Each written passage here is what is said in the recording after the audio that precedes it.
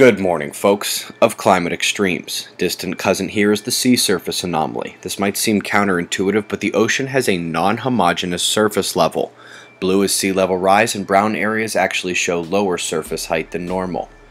Back to the extreme temperature swings, this here is the full 2012 year, above and below average. Notice the heat in the lower 48 and the cold in China.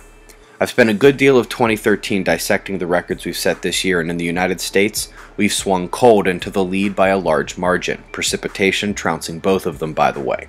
There's no doubt that the Arctic ice is disappearing in record fashion, but as most of that subsurface melt, the extreme swings have hit here too, and this is one of the coldest and shortest summers in many years for the Arctic. Remember that cold in China? Well, now we see dozens dying from heat.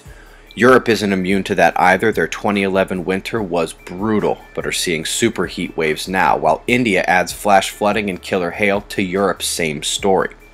The rainfall associated with the Central Pacific storms headed for Hawaii here.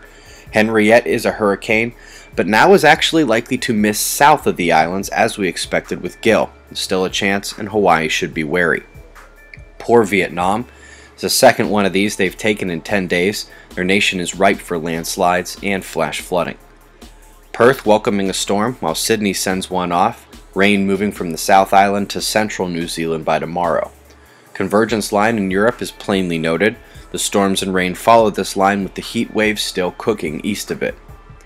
Bit more precipitation on the coastline today, Meanwhile, 100 mile per hour microbursts and tornadic cells that dropped last night in the central states will extend east and south as the convergence of southern and northern air masses play their favorite game tonight at sunset.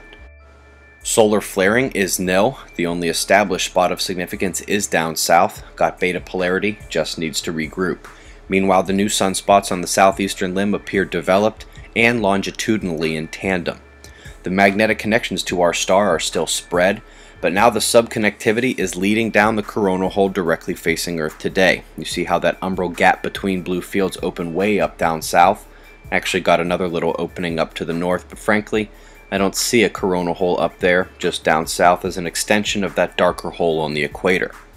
We have seen our first six pointer in days and days. USGS actually says it's a 5.9, but it's still the biggest in over a week. QuakeWatch score today is down to 6, but I don't think it'll get a chance to go much lower. This is Stereo B, showing what Earth will see over the next two weeks, and that is a diabolical looking set of coronal holes. Helioviewer is back and cranking, so shots of our star to close. Eyes open. No fear, it's 6.50 a.m. Eastern Time, and that's the news. Be safe, everyone.